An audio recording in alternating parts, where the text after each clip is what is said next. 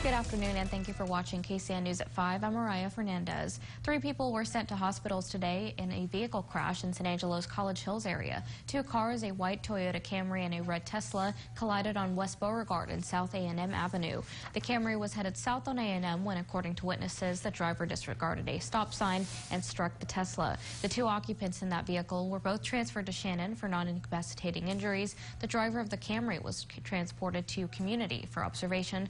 Police were investigating investigating before issuing any citations. A water main break downtown forced the closure of Beauregard between South Koenigheim and Irving streets this morning.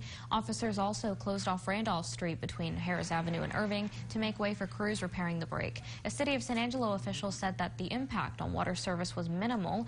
A few hours later, city crews reopened Beauregard and one lane of Randolph Street remained closed while crews continued working on the 18-inch water main break.